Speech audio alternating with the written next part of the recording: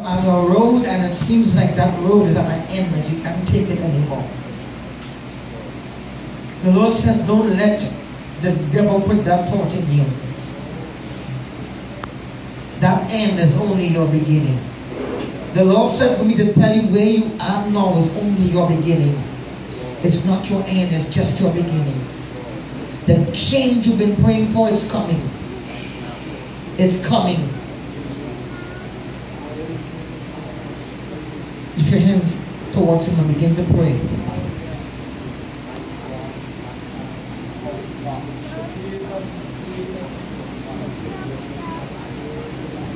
What I'm seeing is that it's like a setup. The enemy is going to set you up like in an accident.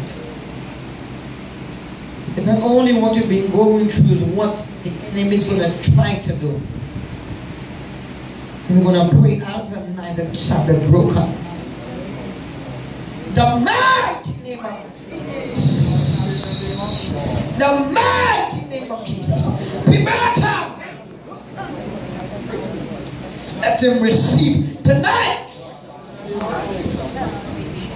The mighty name of Jesus.